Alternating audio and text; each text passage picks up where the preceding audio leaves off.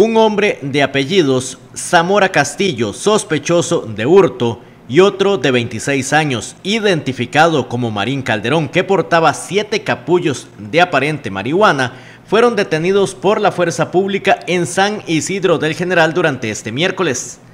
En el caso de Zamora Castillo, los oficiales atendieron una alerta de hurto en un local comercial en la ciudad y minutos después ubicaron al sospechoso, procediendo a la detención y luego puesto a la orden del Ministerio Público en los tribunales generaleños.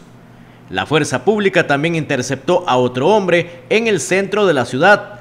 A Marín Calderón le decomisaron la aparente droga. Los resultados positivos se dieron tras los patrullajes que realizan los efectivos policiales en Pérez Celedón. La presencia de la fuerza pública logró una respuesta rápida a estos dos hechos.